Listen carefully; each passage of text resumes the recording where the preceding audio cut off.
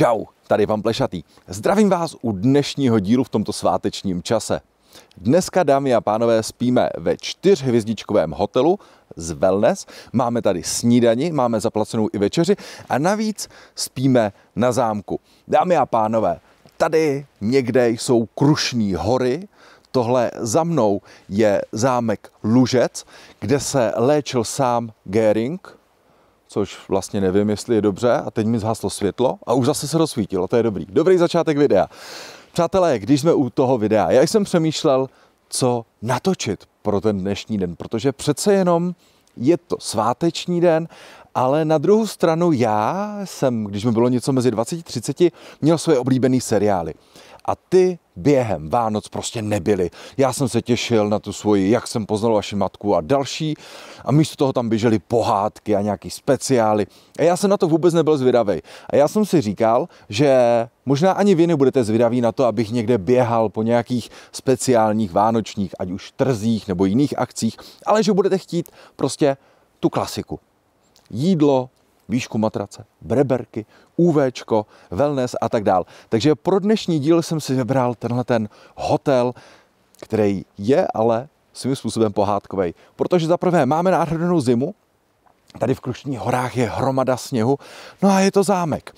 A Kromě toho, že budeme spát na zámku, užijeme si wellness a budeme tady hodně jíst, tak se ještě do těch krušných hor společně podíváme. A teď se jdeme ubytovat. Koukám, že kromě sněhu je tady i hromada aut. A to je vždycky dobře, když je hotel obsazený, protože to znamená, že fungují všechny služby. Protože takhle by mohli říct, je, on je wellness třeba teďka zavřený, my vám to tam musíme připravit, protože tu nikdo není. Nebo jako jsme zažili třeba v Brně, v Grid hotelu, kde prostě nemohli podávat bufetovou snídani, protože jsem byl sám jediný host. To tady nehrozí. Je, koukněte, ten eh, zámek, to není žádná moderní přestavba, ten je autentický a do toho tady nadspali takový kýč. Ale mně se to lidičky, mně se to líbí svým způsobem. Mohlo by to být blikát, ale je to hezký. Tyjo, ta červená tady. to červený světlo, bojím, bojím, jdu do pekla. Je, yeah, tady je to útulný, tady je to pěkný. Check-in, extrémně rychlý, příjemný a a a. Toto je velice příjemné, nabídněte si cukroví, ale já si sem jdu hlavně na tohle, protože jsem promrzlej. Takže v ceně kromě snídaně, večeře a wellnessu mám ještě neomezený svařák, to je dobrý. a konec konců, proč si nevzít? I trochu toho cukroví. Hmm, to, to je dobrý. Máme pokoj ve třetím patře a já koukám v takovéhle historické budově takhle moderní výtah. A tak mě napadá jedna věc. Je to skutečně historická budova? Nebo ne? Protože já jsem o tom zámku se snažil eh, dohledat všechno možný. A protože mám rád historii, tak jsem se nespokojil jenom s tím, co psali na webu. A když jsem jako bádal dál, tak mi to jako spousta věcí úplně neštýmuje. Dostaneme se k tomu. Máme pokoj číslo 310. Což je pokoj knížete Václava, se tady píše. Energy Saver. Wow. Ty jo. To vůbec nevypadá špatně, nebo takhle, nevypadá špatně. Někomu se tenhle ten historizující styl nemusí líbit, ale pokud ho přijmeme, tak to špatně nevypadá.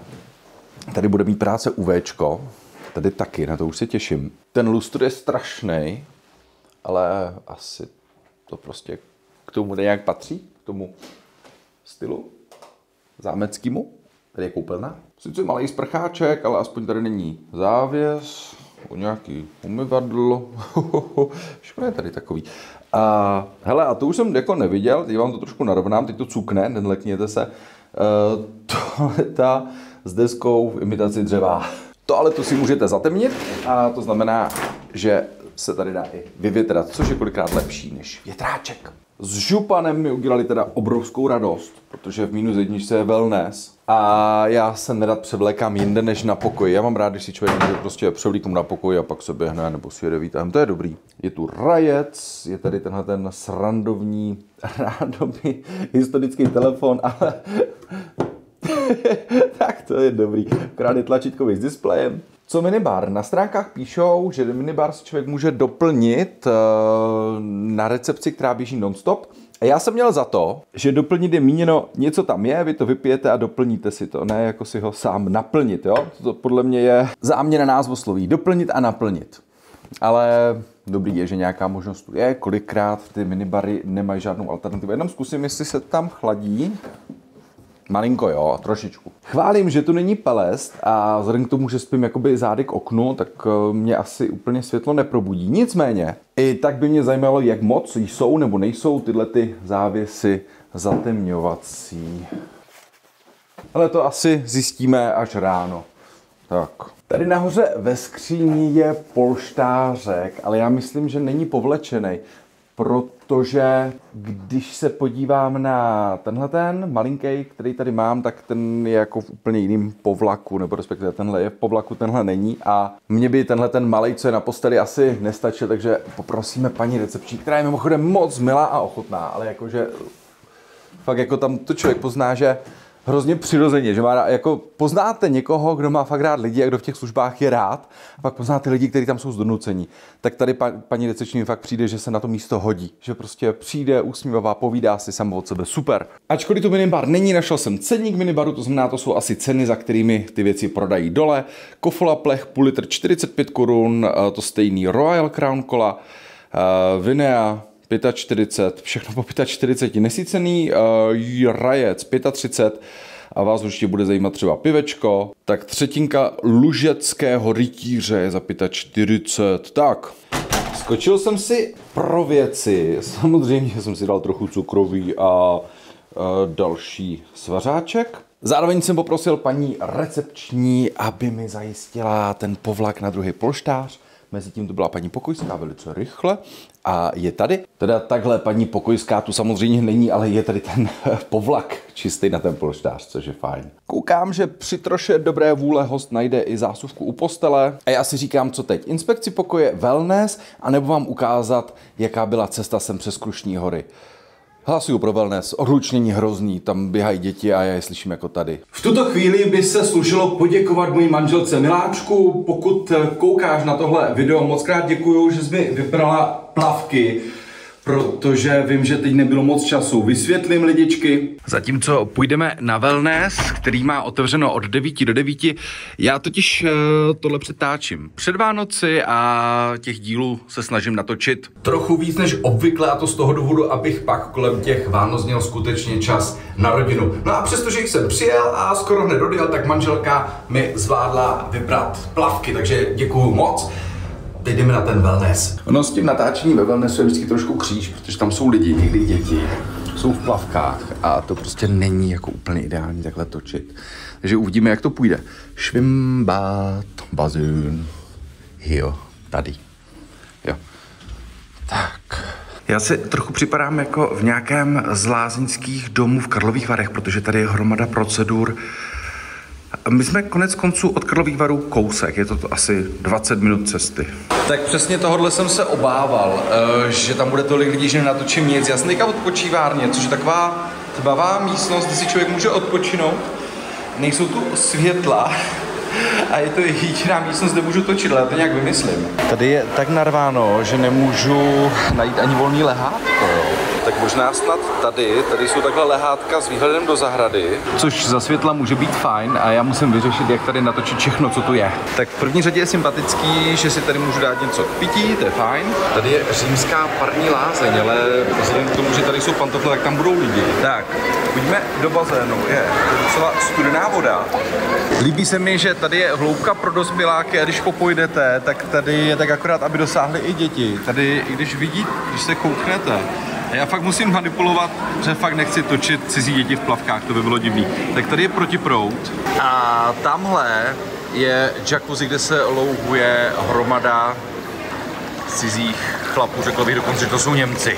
Tím, že ten bazén je rozdělený na větší a menší hloubku, tak tady do té části pro plavce děti nechodí, což je fajn, protože děti, teď tady žádný nejsou, se obvykle zdržují tady. Omlouvám se za kvalitu, je to málo světla, a jak říkám, točí se mi to fakt dost blbě. Teď se teda aspoň uvolnil chodníček. Ten je teda takový skromný. To je knajpův chodník, kde vlastně máte teplou vodu a kamínky a studenou vodu. ale podle mě by to mělo fungovat tak, ne, že máte dva žlábky, ale že vlastně chodíte jeden krok teplá, studená a ještě někde jsem viděl, že je trochu teplejší, studenější, chladnější, horká a fakt se to kombinuje a prý je to dobrý na srdce a krevní oběh. Tak, já doufám, že teďka nikoho pořádně nenatočím, takhle to tady vypadá. Tam je relaxační zóna a tady je takovýhle poměrně velký bazén. No nic, vzhledem k tomu, že nám nepřejí světelné podmínky ani kvanta lidí, tak asi půjdeme z wellnessu. Tak, už jdeme z wellnessu, já jsem si tam, bylo zrovna otevřít dveře, eh, tak jsem tam natočil tu vanu. Pak jsem se ptal pána, který tady pracuje a říkal, že tady, tady jsou masáže, kosmetika, peelingy, eh, nějaký zábaly a já teďka jsem tady a všiml jsem si téhle místnosti, která mě na první pohled zaujala. Jsem myslel, když jsem viděl ty knížky, že to je nějaký dětský koutek, ale uh, tady by asi si děti moc zábavy neužili. Ale je tady takováhle odpočívárna, to je fajn. K tomu natáčení těch lidí, já tomu jako podřizuju často i místo, kam si se dám usnídaně, aby když budu jako točit, tak aby za mnou nechodili kvanta lidí. Ne vždycky se to podaří, jo? to je důležité zmínit, že občas tam prostě ty lidi jsou, bych si mohl taky zmáčknout kameru. A samozřejmě u vánočních trhů, tak tam to nejde. Jo, ale u toho wellnessu už mi to přijde jako příliš intimní na to, abych tam jako přišel s kamerou a řekl, je, dívejte, tady je takový bazén a tam se koupe 20 cizích dětí. Tak to ne. A teď už inspekce pokoje. Je tu opravdu teplo. Oproti třeba Kroměříži, kdy byla opravdu zima, tak tady je horko. Horko se naštěstí dá vyvětrat, slumy topení s tou zimou je to horší, takže jsem rád. Já jsem tady na posteli našel tenhle ten ručník a u něj byl vzkaz. Na tom vzkazu se píše, že je to můj wellness ručník, který mám používat po dobu celého pobytu a pokud bych chtěl ručník navíc, tak je to za 50 korun, což naprosto chápu, protože vím, jak strašně drahý je profesionální praní. Ten ručník musí nějak vypadat, mít nějakou strukturu a to, jak pereme doma, určitě jste poznali, že pak ty ručníky vypadají jinak než na hotelu. Já jsem si ten ručník pochopitelně nevzal, protože do prdele, proč bych si bral ručník, tam vždycky přece dávají dole, když přijdete na wellness. Naštěstí pán na recepci, wellnessové recepci, byl moc milý a dal mi ručník tam, což je možná úplně zbytečná informace, ale já jsem potřeboval vám to říct. Čtyř hvězdička, alespoň 18 cm, což tady splňuje s obrovskou rezervou, protože jsme naměřili kolem 25. A to je dobrý. Obávám se, že zatemnění stojí za prd, protože už teď prosvítá přes ty závěsy světlo zvenku, takže jsou hrozně tenký. Pojďme se podívat na to UV, tak já to narovnám tu kameru a začneme tím, čeho se bojím vždycky nejvíc a to, to je humus. Tak tohle lidi nemůžu za to dát ruku do ohně, ale možná matka opravdu je. Co židle? Na té se sice nespí, a ta je překvapivě docela čistá. Už tu nic není. Hele, koberec. Ale koberec vypadá líp než ten přehoz. Ty ale ten přehoz, to je fakt nechutný, to je hrozný. Hoteliéři, prosím, ty jo, perte to, tohle je jako fakt pěkný hotel, zatím jsem tady nenarazil na nic, jako co by mě vadilo, ale tohle úplně člověk jako fakt zhnusí. Já vím, že to stojí spoustu peněz to vyprát, ale tak to tam nedávejte vůbec, nebo něco. Tohle fakt ne, já fakt apeluji na všechny hoteliéry, buď to tam nedávejte žádný přehozy a když tam dáváte, tak je perte, prosím humus. Neměl jsem to v plánu, ale když už jsme našli tohle na tom přehozu, tak pojďme teda zkontrolovat i kolem toalety. Tyhle toaleta je, kolem ty toalety je to čistší než, no tak jsou tady no. Ah, tak, lidi. A, tak jako už jsme zažili horší, jo. A země čistá, samotná toaleta taky, takže jenom na té zdi trošku pár kapek. Na tom přehozu to klidně může být vylitá omáčka, jo, ale já nevím, já nevím, prostě kdo by vylejval, jako fakt je pravděpodobnější, ale nevím, jako fakt nemůžu dát samozřejmě ruku do ohně, nemůžu je obvinit, je to mrtka. Nevíme, jestli je, ale ty pochybnosti tady jsou. Pojďme si říct, že je to vylitá omáčka, jo, prostě my, my samozřejmě to, tím UVčkem můžeme odhalit nečistotu, ale nezjistíme uh, její původ, takže ne, nemůžu prostě říct, tady ten hotel tady má prostě to. Ale bohužel tím, že to není vyprané, už to nedá vyloučit. No. Teď ještě najít breberky a je to komplet. Ale ta matrace, jak je velká, tak je samozřejmě těžká. Ježiši. Pojďme se pod ní ale přesto podívat. Je. Takže je čistá, jak vidíte. Pod ní je prkno. To je taky čistý, jak vidíte. To je v pořádku všechno. Je to to, co si myslím, že to je, nebo to není to, co si myslím, že to je? Já ani nevím, jestli to slovo můžu říct do videa na YouTube, abych nedostal bán. Mně ale přijde, jako by to tam někdo vyřezal jako host, ne jako, že by to tam bylo umyslně, ale to, to, to jako přehlédla paní Pokojská, nebo se jí to tak jako líbilo, nebo... Chci vidět asi jiný pokoj. Ne jako, že by ho vyměnil, ale jestli to tam je taky, anebo... Co to do prdele je? Tak ono jako pravdou je, že tady se měl léčit Hermann Göring. Ono to teda není tak asi úplně pravda, že by tady v tomhle zámku se léčil. Já vám to vysvětlím. Uh, víte co? Pojďte se teďka podívat na to, jak jsem se projel Krušnými horami, na Boží dár, na Klínovec jsem si zajel a uh, pak si vysvětlíme, proč ten Hermann Göring tak úplně nespal v téhle budově, kde budeme spát my, ale tam to jdu vydechat. Vy se zatím podívejte na můj příjezd sem přes Krušní hory. Tohle je Klínovec, nejvyšší hora Krušných hor, která má výšku 1244 metrů nad mořem a je tu neskutečná zima. Mám pocit, jako bych se ocitl někde na Sibiři. Fouká, mrznou mi prsty, mrzne mi úplně všechno. A to je důvod, proč mám Klínovec nejradši z auta. Až sem nahoru na Klínovec se totiž pohodlně dostanete autem. A to z něj dělá jeden z mých nejoblíbenějších vrcholů. První hodina parkování je tady zdarma, takže když s dětma chceme během zimy vidět sníh, tak se dáme do auta a za půl hodiny jsme tady. A ještě jedna věc, proč mám Klínovec tak rád.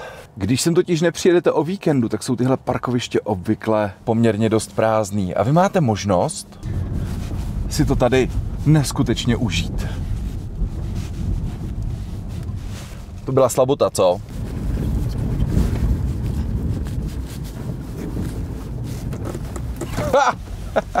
Teď to moc nejde, protože je tady všude spousta aut a já jsem spíš opatrnější, ale uh, ve všední den je tady mnohem víc místa. a většinou je to tady samý bavorák ona už cesta nahoru na ten vrchol je jako z mrazíka. A já si to vždycky neskutečně užívám. Proto je dobrý mít zimní gumy a čtyřkolku. Protože tohle je prostě paráda. A já bych se, abych se přiznal, kdybych měl jenom na, na jednu nápravu, tak bych možná váhal, jestli jsem jet protože ta cesta se prostě neudržuje jako standardní silnice a ale byla by škoda o tohle přijít. No uznejte sami, toto je bomba, to je strašná slovní zásoba pana Plešatýho, vždycky, když se mu něco líbí. Teď mě napadlo, že bych mohl vypnout ten driftovací režim, že? Tak. Vidíte, jak blízko to mám domů, 26 km jenom. My teď si jedeme trochu níž a dojedeme sem. Tohle je ski areál Boží dar Neklid. Já jsem se koukal na jejich webovky a jestli to chápu správně, tak ski areál Klínovec, kousek nad náma, je tady s tímhletím ski areálem Neklid propojený. Je tu 10 km sjezdovek a Volal jsem tam, protože jsem si opravdu nebyl jistý. A jak tady pro tenhle ski areál, tak nahoře pro Klínovec platí jeden ski pas, stojí 1090 korun pro dospělýho na jeden den. A doufám, že mezi natočením a odvysíláním tohohle videa nebude nějaká veliká obleva, protože teď to tady vypadá jako v nějakém sněžném království a doufám, že to bude i za pár dnů, až tohle video vyjde. Musím říct, že mě někdy opravdu mrzí, že neližuju. Napadlo mě, a to budu potřebovat vědět v komentářích, jestli o to máte zájem, že bychom se sem na Klínovec vrátili, zpracovali třeba nějaký hotel tady v Božím daru, a nebo se můžeme podívat na druhou stranu, tedy do Německa, kde je proti Klínovci o něco nižší Fichtelberg a pod tím městečko Oberwiesenthal. Na lyžích mě bohužel neuvidíte, ale můžeme srovnat a posoudit to zázemí, samozřejmě hotely, podíváme se, jestli je na druhé straně nějaký wellness, protože my už jsme na Božím daru natáčeli A to konkrétně v hotelu Praha, což jestli se nic nezměnilo, tak je jediný hotel s něčím, co se dá aspoň trochu nazvat wellnessem. Takže já se na to podívám ještě jednou a případně bychom porovnali, jestli na druhé straně v Německu, v Obrovizentálu nebo v okolí není lepší zázemí pro ubytování než u nás a srovnáme si i ceny. Když už tady padla zmínka o božím daru, tak se do toho městečka zajedeme podívat. Je, mě tady nepřestává fascinovat jedna věc. Boží dar je městečko ve výšce 1028 metrů nad mořem a oni tady normálně na pumpě mají dva takový relativně pomalý, ale mají čezácký chargery, nabíječky na elektromobily. To je dobrý. Když jsme bydleli v Praze, tak jsme snad každý rok jezdili sem. Den před Vánoci jsme se ubytovali tady v tom zeleném domě. Což není nějak výjimečný hotel, ale eh, je to poměrně stará budova, je kompletně dřevěná, má svoji specifickou atmosféru a snad pokaždé, když jsme tady strávili ten jeden den v období Vánoc, tak tady byla kvanta sněhu a o to fakt smutnější pro nás byl příjezd do Prahy, kde bylo akorát bláto obvykle. Tady je radnice, pokud se nemýlim, a na té radnici je webkamera. Já už tu stránku z jejich webkamerou mám mezi oblíbenými, protože vždycky koukám, jestli je tam sníh a občas vyzvednu děti ze školky a jedeme prostě na sníh, děti to zbožňujou. Boží dar není příliš eh, přátelský vůči řidičům, vůči automobilům, ono se dá částečně pochopit, protože je to poměrně malá obec a autem by jsem chtěl zajet skoro každý. Eh, čas od času tady dokonce policie reguluje vjezd, tak když nemáte ubytování, nejde, tak vás sem ani nepustí. Parkovat se tady prakticky nedá mimo vyhrazená parkoviště, ale projet se nám tady dneska podařilo. Jinak v okolí Božího daru nebo okolím Božího daru probíhá takzvaná Ježíšková stezka nebo Ježíšková cesta. Koukněte, tady zrovna máme Ježíška. Tak, tady to, vidíte ho, Ježíška? Tak, super. Takže pokud se chcete projít, tak doporučuju my tady teď po té neošetřené cestě přejedeme srdcem Krušných hor a pojedeme se společně podívat na další ski areál, na další místo, kde je zima jako doma. Jinak v okolí Božího daru najdete několik naučných stezek. Eh, třeba naučná stezka Blatenský příkop Boží dar, nebo naučná stezka Božídarské rašeliniště. A všude tady v okolí Božího daru a v Krušních horách když se budete dobře koukat a zároveň si to trochu nastudujete, tak uvidíte poměrně dost pozůstatků eh, těžby tady těch nerostných surovin nebo toho nerostného bohatství. Vede tady taky, eh, tuším, že Silberstraße, stříbrná stezka, takže těch aktivit, co se tady dá dělat, je fakt hromada hlavně já jsem si tenhle ten text pro vás připravil hlavně z toho důvodu, abych měl co říkat, když vám budu ukazovat tady tu zasněženou nádheru. Protože vy víte, že v mých videích se příliš často, prakticky vůbec neobjevují třeba záběry, které by doprovodila hudba a abych jako jel a říkal, ale to je hezký, nebo aby bylo ticho, tak mi přišlo blbý to nechat jenom tak, takže jsem si našel něco o těch naučných stezkách. Uh, ono tady v okolí kolem té silnice, po které jedeme, což je silnice na Rýžovnu a na Abertami, tak jsou takový jako haldičky, takový hroudy, oni už eh, částečně splynuli s krajinou. A to jsou právě ty pozůstatky té těžební činnosti. Koukněte, tamhle máme nějaký zvíře na silnici. Zatím o nás, asi už nás ví, protože někam zdrhá. Dobrý. Já jsem nakonec vystoupil, abych vám něco ukázal. Doufám, že tam nesletíme spolu i s tou kamerou. Eh, tohle je Blatenský vodní příkop, o kterém už jsem mluvil, že podél něj vede ta naučná stezka. Vede skoro pořád podél silnice, má délku 12 kilometrů a já jsem podobnými věcmi vždycky neskutečně fascinovaný. U nás toho moc není, třeba ve Francii, že jo, mají eh, neskutečné množství kanálů, třeba kanál Midi, kterým se pokusili a nakonec úspěšně propojit středozemní moře eh, s Atlantikem. Takže u nás, kdykoliv vidím nějaký takovýhle vodní dílo, tak se na něj musím mít podívat. Tenhle ten kanál navíc pochází ze 16. století, tuším, že z druhé poloviny 16. století.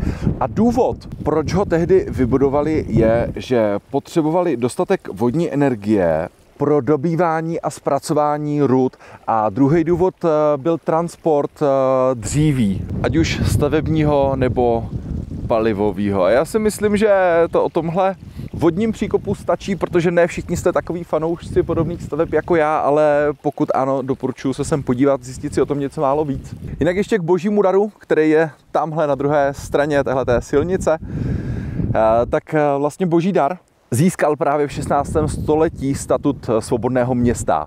A co se týče toho názvu, to jsem si kdysi zjišťoval, protože mě to zajímalo, proč boží dar, tak ten název je odvozen od výroku saského kurfiřta Johana Friedricha, který, když mu byla k odpočinku nabídnuta sedačka z jednoho kusu stříbra, a kromě cínu bylo stříbro jedna z hlavních komodit, právě který se tady v okolí těžili. Tady za mnou je třeba směrovka na Hornický muzeum tak on tehdy, ten kurfist, pronesl větu. Tento ušlechtilý kov je váš chléb, je to dar boží. No a takhle prej vznikl boží dar. My teďka už dávno nejsme na božím daru, my se tady procházíme po tom, co zbylo z vesnice Rýžovna. Teď tady vidíte stát pár domů, je tady rozcestí a to je tak nějak všechno. Samozřejmě jsme v pohraničí, já vždycky, když jsem na Rýžovně, tak si vzpomenu na ten film, obsluhoval jsem anglického krále, kdy oni tam pracovali v pohraničí, mohli si vzít nějaký ten dům, ale já jsem zjistil, že třeba ještě roku 1930 tady bylo 83 domů a žilo tu 526 lidí. A v současné době jsou tam tečky, takže jako... Má to zvláštní atmosféru tohle místo, jedeme dál. No, jedeme dál, to je otázka. Jsme 3 kilometry od uh, civilizace. A já přemýšlím, jestli je to dobrý nápad. Tesla říká, že není. Koukněte. Hele, tak. Co to je? Oni tady teda píšou, že silnice se v zimě neudržuje, ale nečekal jsem, že to bude končit tady.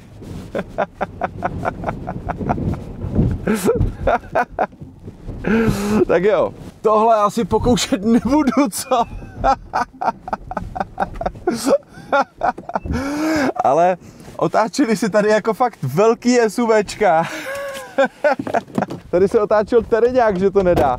A já jsem si ale říkal, že rozhodně nebude mít takový krouťák jako já, že já to zkusím. Já jsem totiž dobrodruh. Nevadí, tak se na ten plešivec podíváme spolu někdy jindy a když už nemůžeme projet, tak se tady aspoň najíme. Protože to vypadá, že by mohli být ty oni tady mají pivovar a z vrchu se ozývá takový hluč, že je tam evidentně hromada lidí, co mají jídlu. Fazolovou, chalapeňový vor, trhané vepřové, bůček, pivovarský guláš, drůbeží játra, pečený celer a borůvkový koláč. Si vždycky vzpomenu na Pulp Fiction, když řeknu borůvkový koláč. Ty to je výhled z okna restaurace, to je neuvěřitelný. Pití jsem si dal trochu netradiční teplý mošt. Řevenku je fakt šílená zima, tyjo. Takže nějakou kolu s ledem nepřicházelo v úvahu. Přemýšlím, jestli jsem něco takového už někdy měl. Chalapeňový var, takže očekávám, že bude ostrý. Tyjo, tam jsou fakt kousky chalapeňo, z kuřecí maso, cibule. Hele, tam když takhle postavíte lžící, tak možná bude i, no nebude stát, ale hustý to je hodně, jako. Tak co? Dejte ty věci, které jsou dražší, ale mě, mě to fakt bavilo. Je to všechno jako zubí A tak takhle ostrou polívku jsem ještě neměl ani v pepelu. Jo, chcete chleba trošku? Ne, je to dobrý, děkuji, díky moc. Tak nakonec jo, nakonec jsem si ten chleba objednal, protože bez něj to nejde. Pokud ustanovíme zelněčko jako samostatnou kategorii polévek, a tahle by patřila do toho zbytku, tak to byla jedna z nejlepších polévek, jaké jsem kdy jedl. E, abych si moc nenacpal břicho, protože v hotelu máme kromě snídaně i večeři, jsem si dal jenom utopence. Už jsem dlouho neměl utopence, pojďme se do toho pustit. Hmm. Dostal jsem k tomu beraní rohy. A kdyby byl ten utopenec malinko díl uleželej, tak by byl ještě trochu lepší, ale i tak je docela dobrý. Já měl v plánu se tady najíst jenom zlehka, ale když jsem na jídelním lístku uviděl jablko v županu neboli Apfel in Bademantel, tak jsem prostě neodolal. On je to v zásadě vlastně jenom štrudu. Si vždycky vzpomenu na českou sodu a pak na Felixe Holzmana, který říkal, já mám doma ten starý župan. Tyhle věci já můžu. Ale tady takhle jablíčko, rozinky, je to výborný. Tak akorát sladký. A ještě když to zapím tím jablečným moštem, paráda. Jablečný mošt, jalapeno polévka, utopenec a jablko v županu. Dohromady 330 korun. Hele, mě překvapila jedna věc, možná dvě věci. Za prvé, kolik tam bylo lidí a kolik jich neustále přicházelo. To byla fluktuace jak v nějaké hospodě na návsi ve větší obci a ne tady uprostřed lesu, ničeho, tady nic není. A druhá věc je, eh, pokud ten pan vrchní, nebo ten číšní, nebo majitel, všechny hosty neznal osobně, tak to byl ten nejžoviálnější člověk, jakého jsem kdy v životě viděl. Uh, jako, takhle, možná je všechny znal a jsou to jeho přátelé, pak je to v pořádku, pokud to byli hosté, kteří tam přišli poprvé, tak by to přišlo až příliš, ale to jako se nikomu nedá vyčítat, že je žoviální a třeba je to většině lidí příjemný, já jsem spíš takový trošku studený čumák. A teď už tady touhletou kouzelnou pohádkovou zasněženou krajinou dojedu do hotelu. Tak, to je super to je pohádka. A zpátky na hotelu. Jak se vám líbila moje projížďka po Krušních horách? Já to tady mám moc rád. A je to taky jedna z výhod bydlení v Karlových Varech, že když děti chtějí vidět sníh nebo hory, tak sedneme do auta a za chviličku jsme v Krušných horách. My jsme teďka před hotelem, tady u téhle sochy. Jak většina z vás jistě poznala, tohle je socha Karla IV. A já u té sochy stojím zcela záměrně, protože na webu tohohle hotelu, tedy zámku Lužec, se píše, že ve 14. století se začíná psát historie zámku Lužec, který byl postaven královským příkazem českého krále Karla IV. ve 14. století jako místo pro přenocování a úkrytu před rozmary počasí a tak dál. Později se začal zámek využívat ke strategickému rozmístění vojsky na Žižky a tak dál a tak dál a tak dál. Takže já jsem sem jel s takovou romantickou představou, že někde tady přespával Karel IV ale přijde mi to zvláštní. Tak jsem začal googlit a nic takového jsem nenašel. Ano, na oficiálních stránkách města Karlovy Vary se parafrázuje ta stejná historka, legenda, že zámek Lužec byl postaven královským příkazem českého krále Karla IV. To je prakticky to stejné, co má na webu tenhle ten hotel. Jenomže já jsem hledal dál. A bohužel jsem zjistil, že internet není všemocný. Tohle je fotografie stránky jedné knihy a tohle, přátelé, je vila Paula Albrechta Weinkaufa. A ta fotografie pochází ze začátku 20. století.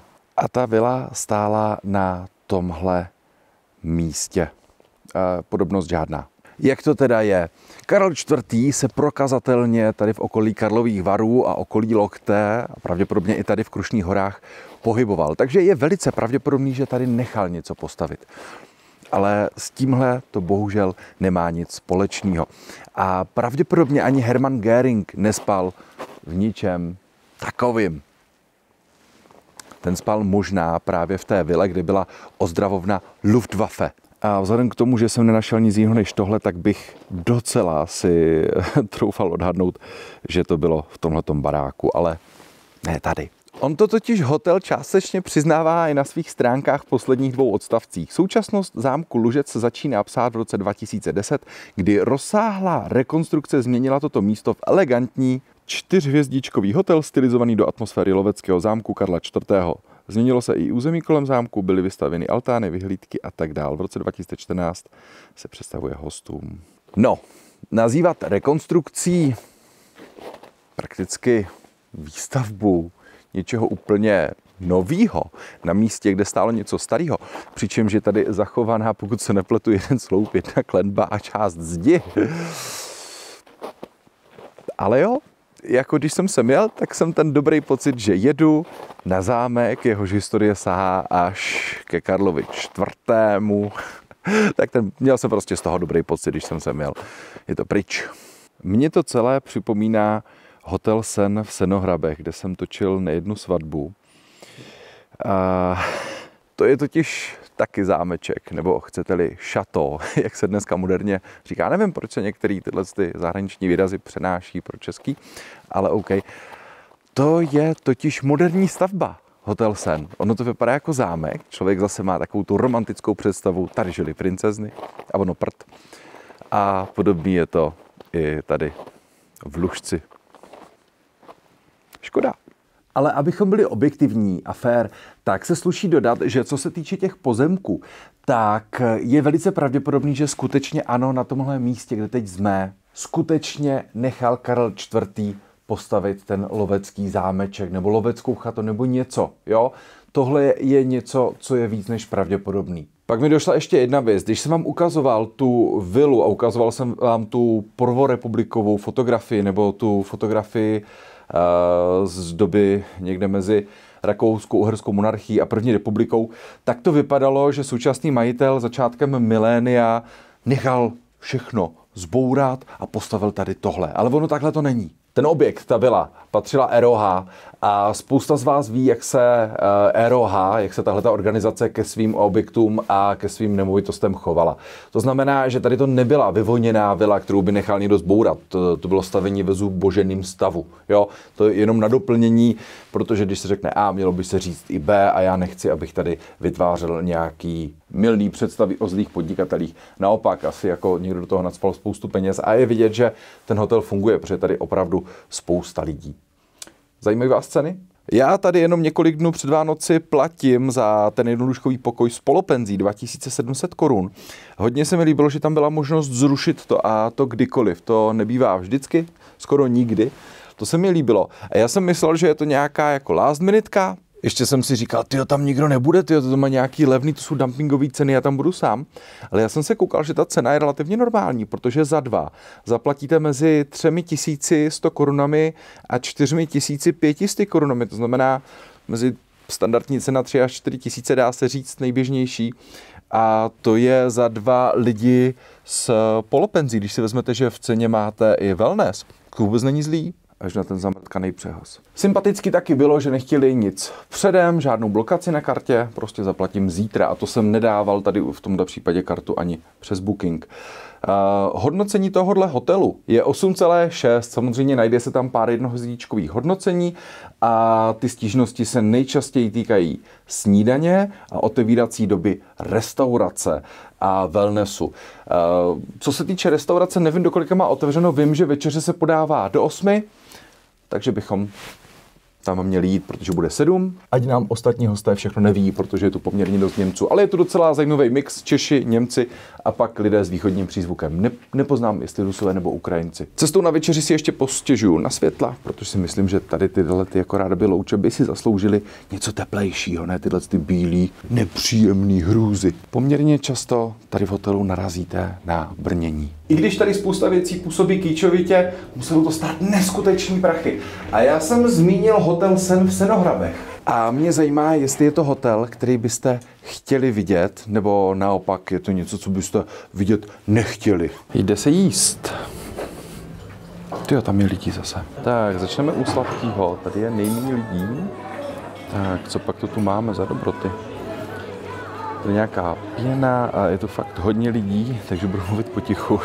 Vy mi vždycky říkáte, jak to děláš, když je kolem tebe hromada lidí, je, není ti trapný mluvit, je mi to hrozně trapný, teďka tady kolem mě jsou lidi a já nevím, co mám dělat. Takže rukola s mandarinkama, papriky, tady jsou okurky, rajčata, kukuřice. Tohle vypadá jako e, špenátový lasaně. Tady máme nějakou grilovanou zeleninu, tady jsou pízy, tady je bramborová kaše, trošku mi tu chybí popisky. Tady máme nějaký maso, ale fakt to tu není popsaný. Tady je rejže, tady je nějaký úho. Oni vždycky kuchaři se hrozně urazí, když řeknu, že to úho, protože někteří si na tom strašně zakládají na těch svých e, omáčkách. A tady je vlastně stejný, co z druhé strany. Tady e, máme parmskou šunku, pokud se nepletu. Tady máme nějaký jednohubky, tady je karpáčo, a tohle vypadá jako nějaká kremová polevka, ale skutečně mi tady chybí, aby to bylo popsané. Uh, tady je z pečiva koukám chléb, no a tady, tady máme zmrzku. Já jsem si zapněl laktazim, abych si mohl dát tam ty mléčné výrobky, takže musím zpátky na pokoj. A řeknu vám jednu věc. Normálně Tak 40% lidí koukalo, já jsem to tam točil. A tam je obrovský jídelní sál. A tak 40% lidí, jak jsem to točil, já jsem se pak na ně koukal, udělali. 40% lidí tady jsou Němci. Těm ostatním Češi, Ukrajinci, Rusáci, tím je to jedno, co tady kdo dělá s kamerou. Ale Němci. On to jídlo očaruje tou prapodivnou kouzelnou hulkou. Němci jako národ celkově prostě, jsou vyspělí. Ale zároveň oni jsou tak strašně stádovitý národ. A odjel výtah, půjdeme po schodech. A jakmile někdo dělá něco nestandardního, tak oni, to, to se nedělá. To, a teď, teď úplně jako pročítají ty zákonníky a, a různý kodexy, jestli jako se to dá někde dohledat, protože já mám pocit, že Němci dělají jenom to, co je někde napsáno, nebo to, co jim někdo řekl. Tak, ty Němče, a teď je 18 až 20, teď budeš večeřet. A najednou tam je jako něco, člověk s nějakým divným přístrojem. On to natáčí. Ale to není jako v hotelovém řádu, že by... Co se to děje? Chyba v Matrixu. Člověk s kamerou. A to nenatáčím pochopitelně je. Tak, za mnou jsou Němci, tak jsem si sedl takhle shaderem a vzal jsem si tyhle ty špenátový lasaně, tak je ochutnejme. Opravdu sedím jako blbec, ale kdybych se posadil normálně, tak by ten záběr byl tam na ty Němce a oni by, no to by nepřežil, kdyby někdo natočil. Špenát se dá buď připravit tak, že chutná jako zmoklá uvařená tráva, anebo je to fakt jako luxusní věc. Tak tady je to spíš ta tráva. Je to nedochucený. A ona ta kombinace toho bešamelu, který sám o sobě není moc jakoby chuťově výrazný, s tím špenátem. Když se to neudělá fakt luxusně, tak moc nefunguje, no. Já jsem jako dítě špenát nesnášel. Ale teďka vím, že když jdu fakt třeba do nějaké lepší restaurace, kde je dobře udělaný, tak ale jak čumí, ty vole. Já to nemůžu na, na ně otočit, protože to oni by nepřežili, ale není možný ty jejich pohledy. No, tohle nebyla dobrá volba. Tak, máme tady druhý kolečko. Uh, já jsem si vzal ten, ten špís, já už teď vím, že ho nesním, ale on je jako poměrně velký. A já hrozně nedat plýtvám jídlem, já nevím, jak to mám dělat, třeba u těch lasaní. Tak tam jsem si ukrojil půlku z toho, z té porce, protože prostě fakt jako nechci tady nechávat půlku jídla na talíři, protože jak řekl, řekl Gordon Ramsay, že jí kvůli tomu zemřelo zvíře, jo, a takhle já to taky beru. Hmm, maso je. Ty, ale to je ničím marinovaný, to je výborný. Hmm. Ale to uho, ta omáčka. Když to srovnám třeba s Charlestonem, to je taková trochu lepší restaurace v centru Karlových varů, tak oni tam dělají vlastní kachní omáčku. A hrozně si na tom zakládají, děti to milujou. Tak uh, tohle, tato jako hnědá omáčka, nebo tahle ta omáčka od masa, nebo jak to říct, já se mi dochází slovo, omlouvám se, se s tím jako srovnat nedá. Ale maso je luxusní. A když je tak akorát udělaná, hm? já myslím, že maso žravci budou spokojení. Pojďme dál. Objednal jsem si minerálku, dostal jsem raje, což mě překvapuje, když jsme tady v kraji um, Matony. A jedna věc, je to prakticky všude, málo kde to je jinak. Samozřejmě pití si host platí sám, na hotelový účet se mu připisuje. Teď pro změnu ochutnáme polévku a vzhledem k tomu, že tam nejsou žádný popisky, já ještě pohnu kameru, ať tam skutečně nikoho nezabírám, je naopak, tak, tak nevím, co budu jíst. Dýňová? Je taková trošku nastádlá. Je tam možná je mrkvová? Je, je trošku chuťově nevýrazná. Mrkvová.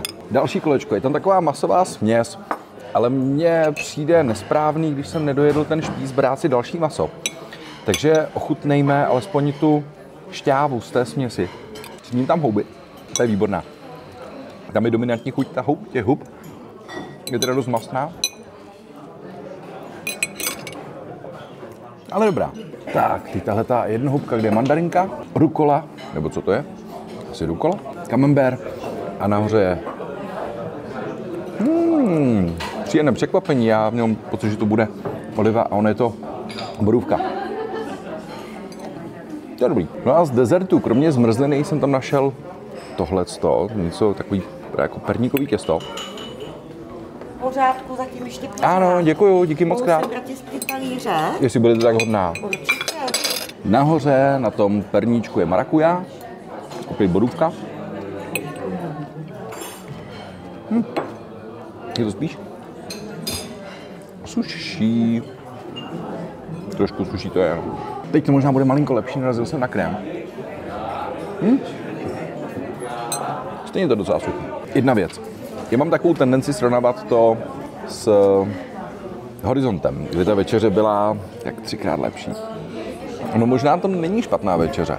Je tam maso, hranolky, rejže, kaše, masová směs, grilovaná zelenina, nějaký dezert, polívka, jednohubky, spousta salátu, takže jako objektivně za to to není špatný.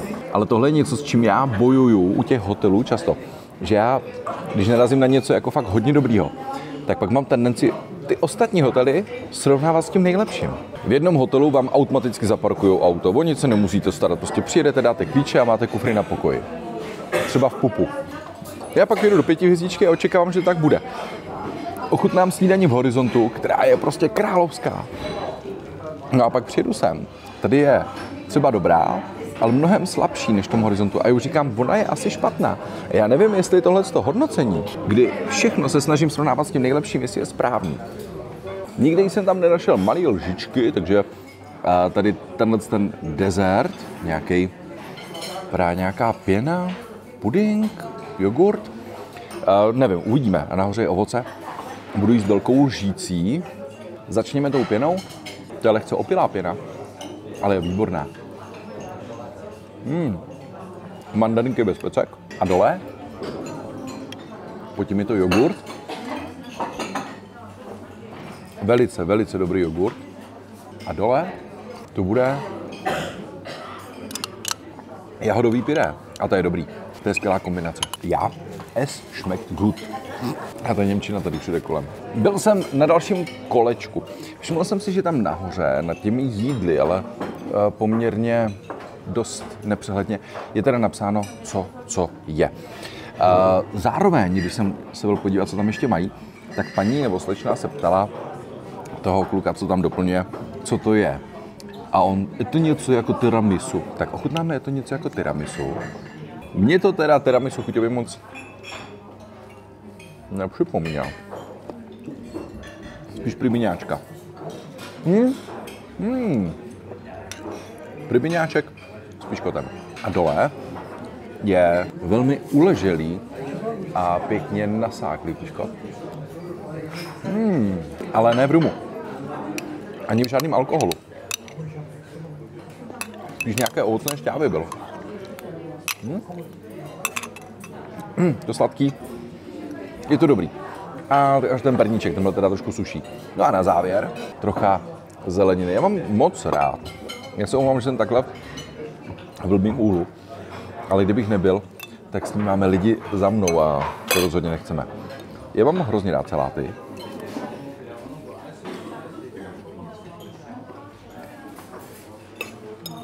Co to kurva je? Já jsem si dal mrkový salát.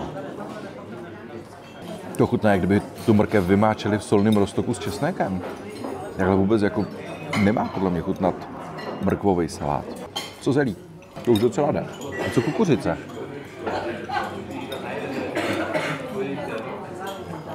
Já nevím. Ale kdyby řekl, že je tady špatný, jak bych jim křivdil. Ale není tady ani jako výrazně dobrý. Jako, jako průměr, možná lehoučký podprůměr. Já jako konkrétně, ten výběr, ten zhodnoťte sami.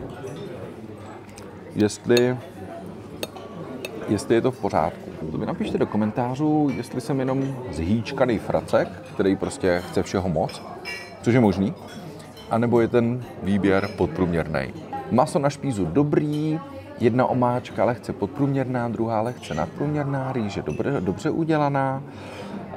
Uh, co se týče toho prvňáčku, ten byl luxusní, ten jogurt byl taky velice dobrý, perníček byl trošku suší a možná, jak jsem chtěl říct, že tady není dobrý, tak jsem byl možná jenom teďka ovlivněný čerstvě tou mrkví, no, protože já jsem tak nedobrý mrkvový salát snad ještě nikdy nejedl.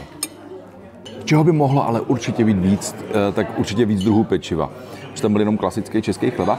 A já, když si vzpomínám na ta hodnocení, tak lidi si nejčastěji právě stěžovali na otevírací dobu restaurace. Já nevím, do kolika tady má, do 8 jsou večeře, uvidíme, v kolik zavírá jako asi 8 zavřou a pak už host nemá žádnou možnost. Na otevírací dobu wellnessu tam mi přijde v pohodě a taky právě na výběr nebo na kvalitu jídel na snídani a na večeři. To vím, že tam pár takových bylo eh, informací, tak uvidíme, jaká bude snídaně. Já jsem si k tomu perníčku, abych si ještě trošku dojel, jak jsem si dal zmrzku. A já jsem zvědavý, jestli to, protože je takhle, já mám sice laktazim, ale on není samospásný, jako to prostě není. Dáš si laktazim a můžeš najednou všechno. Takže uvidíme, jestli jogurt, rybiňáček a zmrzlina projdou. Nedalo mi to a zeptali jsem se na ten zvláštní uh, mrkvový salát. A paní, co mě obsluhovala, mi vysvětlila, že tady občas dělají ten salát klasicky na sladko, anebo neklasicky na slano s česnekem. Takže on je to spíš takový jako nezvyk, protože já jsem čekal takovou tu chuť mrkve, jablek, ananasu a on přišel česnek. Jinak musím říct, že teda jsou tam všichni neskutečně milí, všichni a furt doplňovali. A zase, jako obvykle, koukal jsem se i, jak se chovají k ostatním hostům. Fakt jako ten personál je tady nadstandardní. Od té slečny nebo paní recepční, spíš paní recepční, až teďka vlastně po obsluhu v té, v té restauraci, byť teda část jsou to Ukrajinci a pán mě překvapil, jak tam myslel, že je to jako tiramisu a pak tam byl pribiňáček, ale jako co se týče chování k hostům, tak, tak eh, spíš na standard bych řekl. Poslouchejte.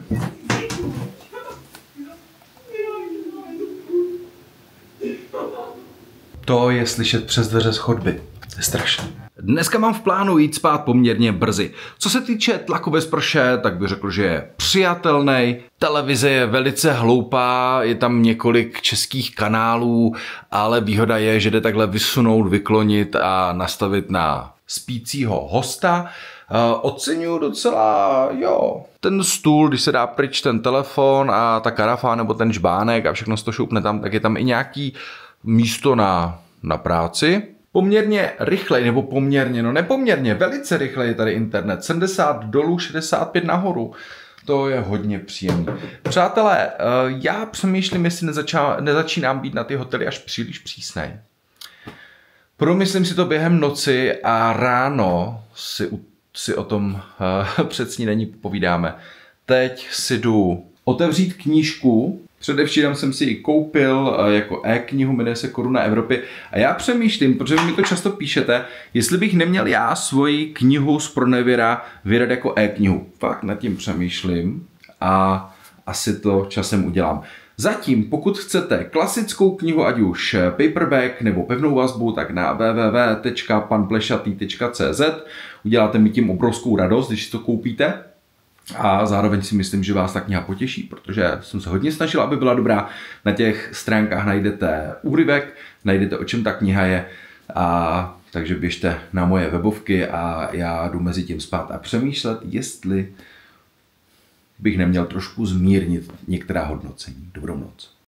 Krásné dobré ráno, přátelé. Chci vám něco ukázat a to je zatemnění, který, jak vidíte, tak moc nezatemňuje. Odhlučnění je tady tragédie, hlavně z chodby. Zvláštní je, že hned vedle mě je výtah, ale ten odhlučněný tak dobře, že vůbec o jeho existenci nemám potuchy, což je super. Ale kdykoliv tamhle někdo projde, tak slyším každé slovíčko. Matrace. Nebylo to nic jako hroznýho, ale trošku mě štvalo tohle, se totiž krčilo, jak jsem se vrtěl. Ale já jsem k matracím. Tady na hotelu něco našel. Oni tady totiž přímo k tomu mají nějakou cedulku, nějaké vysvětlení. A píše se tam, že u nich se spí nejlépe, vážení klienti a tak dál. Mají danou specifickou tvrdost matrace, označovanou jako H4. V případě, že jste zvyklí spát na měkčím provedení, nabízí vám možnost doplňkového toperu změkčovače, který vám... Aha, Jo, takže oni mají tvrdou matraci H4, a teď přemýšlím, jestli tohle je ten topr, protože topr bych čekal, že bude ještě tlustší. Buď tady po někom nechali topr, nebo nevím, třeba je to jenom takový ten hygienický kryt, tyjo. Vy víte, že mi bude chviličku trvat, než se rozmluvím, ale to nevadí, já stejně budu mluvit. Za chviličku nás čeká snídeně, ale já bych se chtěl ještě vrátit k večeři a zeptat se vás, jestli vám nepřijde, že jsem možná až příliš přísný na ty hotely. Když přijedu s rodinou do takového hotelu, tak se chci cítit dobře, chci, aby tedy na mě byli milí, aby tady bylo příjemný wellness, aby bylo na pokoji teplo, aby bylo příjemný prostředí, abychom měli kde zaparkovat, aby byla rychlá wi Tak a to si myslím, že jakž tak tenhle ten hotel splňuje. Jasně, byl tam něco na tom přehozu, to odlučnění stojí za prd. Ale pojďme k té večeři. Byla ta večeře špatná. Já totiž ze svého pohledu prostě z ní nemám dobrý pocit. Ale zároveň si říkám, když přijede někdo, kdo tady zaplatí třeba ty tři a půl tisíce za pár, tak očekává hostinu, očekává, že to bude jedno z nejlepších jídel, co jedl, anebo očekává, že se za ty peníze prostě nasytí. Víte, já mám poměrně dost eh, kamarádů a známých kolem sebe, kteří by si na pobyt tady vydělali třeba za hodinu, jo, nebo za dvě, max za tři. Ale oni by do tohohle nejeli, protože prostě když vyděláváte uh, řádově tisíce za hodinu, tak už si připlatíte za něco lepšího. A to jsou lidi, kteří očekávají maximum. A já někdy mám ze sebe, když se zpětně podívám na ty recenze, pocit, že taky chci od těch hotelů maximum. Ale můžu chtít za 3,5 tisíce na noc, respektive v mém případě za 2700 na noc maximum? To mě zajímá, zajímá mě váš názor. A teď půjdeme snídat. Tak a teď už pojďme snídat. Tyjo, tady je lidí, že si nebudu mít kam sednout. Tak, co tu mají? Tady máme nějaký suchary nebo takový ty se to bude fakt těžký. Já jsem vzal knuspy, že tomu řeknu, ale je to knuspy, co je vůbec knuspy? Tak, tady máme nějaký makový a tvarohový buchtičky, klasický rohlíky, tamhle byl chleba. Tak, tady je kiwi, tady máme okurky, jablko, papriku, kamember, tady máslo. Mimochodem máslo podávají stejně v Grand Hotelu úplně stejným způsobem. Tady je bylinkový máslíčko, tady máme nějaký uzeniny a jak jsou pěkně udělaný do růžičky. Je, ale toto, tohle si rozhodně nenechám ujít. To jsou lívanečky, tady máme vejce na tvrdo, tady máme nějakou klobásku, zeleninu, sázená vejce, párečky. Tohle budou asi fazole, že ano, to jsou fazole. Tady máme nějaký kaše. A pojďme se podívat z druhé strany. Tady to vypadá zajímavěji. Tady máme šunkovou pomazánku a tady to není popsaný, ale já bych jako odhadoval, že je to jogurt. No, tím, jak to není popsaný, tak člověka může zmást, co co je, protože pomazánka vedle jogurt, tohle vypadá jako čerstvý sír, tohle zase jako jogurt. Ale ochutnáme všechno, zjistíme, co co je. A tady máme zase nějaký ovoce a tady už jsme zpátky u chleba a toho knuspí. Tak, pojďme na juice. Hele, začneme růžovým ale ne, to nemám rád, já si vždycky, jo, dobrý, super. U některých těch přístrojů na juicy je problém, že vám prostě dají celou dvoudecovou porci a já si dávám vždycky deci od každého. Ale tady to zastavilo tak nějak včas. Ale nebylo to jako, že bych to zregoval ťup, ťup, ťup, ne. Tak, teď pomeranč. Ale jo, hele, dá se to regulovat docela dobře. No, stačí. Počkat, ale tohle nevypadá na pomeranč. Hele. Jo, aha tak ono, jak je to postmix, tak ono tam dává v dávkách. Dávka vody, dávka syrupu, dávka vody, dávka syrupu. A já jsem u toho grepu úplně blbej, já jsem vychytal dávku vody, jak jsem nechtěl celou dvoudecku. Hele, kašleme na džusy, tady je citronová limonáda, okurková, jahodová, ochutnáme. To je příjemný zpestření usnídení, protože většinou bývají ty džusy. Často bývají postmixový, což je i tady, ale jako domácí limonáda nebo něco takového to nebývá. Já už jsem se lekl, že tohle je jediný zdroj kávy. Naštěstí není, přátelé. Většinou se hotel přizpůsobuje klientele. To je samozřejmě dobře, ale tady je hromada Němců, takže já tady prostě ristretto určitě nenajdu. A jediný, co tu vidím, je kafe krém. A já bych ale jako nechtěl, aby... Tak co? Doufám, že nedostanu deci vody, je to fakt nesnáším. Ale když to trošku přeženu, tak vždycky, když dostanu víc než půl deci vody, tak mám zkažený no minimálně dopoledne. No a, a to už snad kurva stačí. Hele, je tady tlačítko Storno. Super. takže jsme to vystornovali snad včas. Hele, já z vašich komentářů jsem usoudil, že pořád existuje ne velká, ale nějaká skupina lidí, kteří mají rádi prostě decový nebo dokonce dvoudecový kafe. OK. A je fajn, že i pro vás na hotelích je ta možnost tisknout si velkou kávu. Ale stejně tak by tam měla být možnost dát si normální kávu. 35 ml. Káva nevoní hezky, no uvidíme, jaká bude. Já jsem úplně přehlédl tuhle část, kde mají tady nějaký řez nebo nějaký piškot a vánoční cukroví. Tak, vedle mají marmelády džemy, takže pojďme si něco nandat.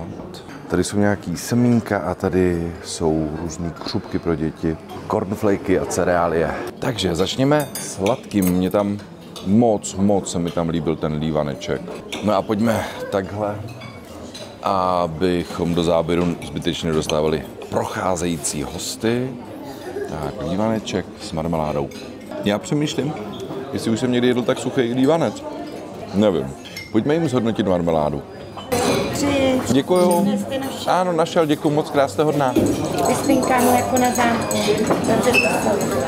Jo, jo, jo. Děkuju. Tady jsou všichni tak milí a já jim kritizuju lívance. A teď jim budu pravděpodobně kritizovat i džus. Džus. Když si doma zředíte syrup s vodou, bude to asi lepší. Co ten řez s tou drobenkou nahoře? Hmm?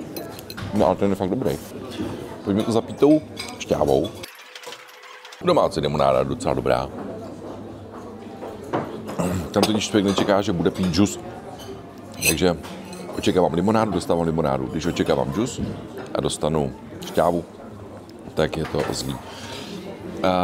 Tenhle je dobrý, ten řez je čerstvý, tam ta drobenka, je to plněný něčím, nějakým ovocem, je to fakt dobrý. Udělejme ještě jednu věc. Já jsem si teď natankoval grepový džus, ale naraz. Jo, ten automat pracuje prc voda, prc syrup, prc voda, prc syrup. A já když to naruším tím, že si chci natankovat méně, než on počítá, což je mimochodem jako na prd. Ale grep z toho cítím ke grepovému džusu, to má daleko. A co káva? Hmm, mně přišlo, že nevoní, ale není zlá. Není zlá, jo, není jako vyloženě dobrá, není to něco, pro co bych si sem přijel znovu a řekl bych si, hele, na zámku Lužec mají výbornou kávu, z Karlových varů to mám kousek, zajedu si tam, to rozhodně ne. Ale není to jako špatná káva. Pokusil jsem se odhadnout, co v těch miskách je naslano a řekl bych, že tohle, tohle a tohle. Ono tam nahoře, takhle to dejme, ať tam nemáme ty hosty. Oni tam mají jako napsáno jogurt, šunková pěna, tvaroh a tak dál, ale nejde moc poznat, co patří k čemu. A já mám pocit, že jsem si nabral dvě šunkové pěny, to zjistíme za chviličku. A co se mi líbí, že tady mají pravděpodobně vlastní uh, tady dělaný brinkový máslo. No ale kdyby tady bylo jenom toto s tím čerstvým chlebem, k tomu dobrá káva a kvalitní džus, tak bych se vůbec nezlobil. Já vím, že někdo jiný možná ano, ale... Mm. Výborný čerstvý chlebíček. Křupová kurčička, vláčná střída a k tomu tohleto skvělý bylinkový máslo, no. Mm. Mhm. Mám rád bylinkový máslo, fakt. Co mě trošku překvapuje, je výběr pečiva. Nejsou tam bagetky, nejsou tam croissánky, je tam prostě rohlík chleba a byla tam nějaká raženka, tuším už tam není. Na druhou stranu je to čerstvý a já teda ochutnám rohlíček tady s tou šunkovou pěnou. Je dobrá. Má takovou jemnou chuť. Čerstvá. A je v tom cítit i ta šunka. A já si myslím, že i ta druhá hromádka bude šunková pěna nebo šunková pomazánka, že prostě je tam ve dvou miskách. Mhm. To je taky šunková pomazánka. Jenom pro upřesnění, šunková pomazánka, ne pěna. Aspoň takhle to tam psali. A teď jsem si pravděpodobně na rohlík namazal tvaroh. Hm. A ten hodnotit nebudu. Další kolečko, museli jsme trošku změnit úhel záběru, protože stůl za mnou obsadila rodina, takže aby nám tam nebyli tady super, že za mnou je okno. Tak, co teď? Teď budou palačinky pro změnu s meruňkovým džemem. No ale to je luxusní palačinka lidičky. Tenoučká a má křupový okraje. Hmm. Džem je takový průměrný, nic moc. Ale ta palačinka, ta stála za to. Stejně jako po příjezdu v Lovibaru, i tady ke snídani, je cukrový. A k tomu fakt nemám co vytknout. To cukroví tady mají tak dobrý, že bych to možná i chápal jako reklamu. Ochutnejte naše cukroví a kupte si dvě kila domů. Já bych možná koupil. Nejsem chlebař, ale kdybych jim byl, tak by mě na hotelu vždycky naštvalo, když tam prostě narazím už na ty nakrájené krajíce, které jsou samozřejmě oschlí. To tady není. Tady si to krájí každý host sám. A když jsem oddělal tu utěrku, pod kterou bývá kousek chleba, který krájíte, tak jsem tam našel ukrojenou půlku rohlíku, což mě docela bavilo. Já jsem si šel na poslední kolečko, protože skutečně to jejich blinkový máslo je něco, co si nechci nechat ujíst. Hmm. Tak, a je na čase se odhlásit. Já jsem si chtěl podívat, jestli tady v lobby ještě není svařák, ale Glühwein, nebo tomu to říkám Glühwein, protože se mi to líbí víc, tak je až od 12 do 6. Mimochodem, i když je to v zásadě novostavba, tak jo, má to tady tak trošku atmosféru toho zámku. To se jak tomu lobby baru, tak celému hotelu úplně nedá upřít. A já tady z toho cítím Vánoce. Co říkáš, Farére, taky z toho cítíš Vánoce? Tak jo, jdem se odhlásit. S dovolením, pánové. Mám po checkoutu, ještě vám chci ukázat tohle. Tohle jsem dělal na chatu vždycky, dokud jsem neviděl, jak to vypadá v reálu. Protože ono v těch reklamách to se krásně plápola a pak to vidíte naživo. Říkáte, ty to je hrozný kýč. ještě to blíká. Tak a teď hurá domů. Vy na tohle video koukáte den po štědrým dni, což technicky vzato jsou ještě Vánoce, on je to ten hlavní vánoční den. Ale pro mě, který miluje advent, tak pro mě v okamžiku, kdy na tohle koukáte, už je po Vánocích. Jo, to je prostě 24. rozdají se dárky a konec. Ve všech videích furt říkáme, jak je super mít elektrický auto, že si ho můžete dopředu takhle vytopit, zapnout si sedačky, ale to by jeho uživatel nesměl být blbec, který na to zapomene, že? Zase na druhou stranu, i když na to člověk zapomene, tak je to potom eh, odmlžený a odmražený poměrně rychle, protože je tu tepelný čerpadlo a nemusí se čekat, eh, až se zahřeje motor. Což je teda jako výhoda, i když člověk zapomene to auto takhle jako odmrazit na dálku. Tohle je poslední video, které vlastně před Vánoci točím. Takže lidičky, já vlastně jedu na Vánoce domů právě teď. Akorát je škoda, že ten sníh nemáme ve varech. Všimněte si jedné věci, jo. teď jsem fakt kousek od domova, od varu. Hele, 19 minut od baráku, tady ještě sníh, zima a pak člověk přijede do města a po sněhu ani památky. Což je škoda. Zase na druhou stranu máme to do těch krušných hor opravdu kousíček.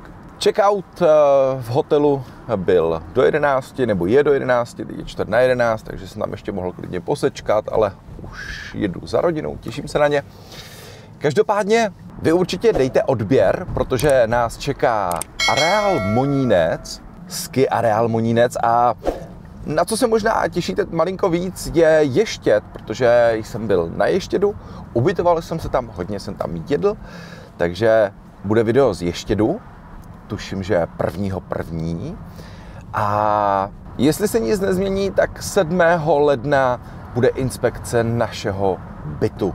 Příští rok eh, bych rád dělal víc levnějších hotelů. Neříkám, že to bude to hlavní tady na tom kanále. Eh, pořád bych si rád zachoval jako gro ty čtyř a pěti hvězdičkové hotely, ale píšete si i o levnější tři hvězdičky a tak dál, takže zkusíme to, uvidíme, jak se vám to bude líbit.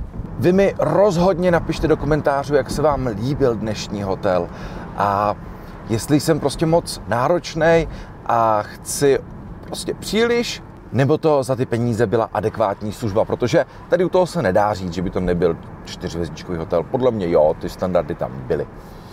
Jsem rád, že jste se dívali dnešní video, myslím, že je trošičku delší, aspoň koukám podle toho, kolik jsem toho natočil.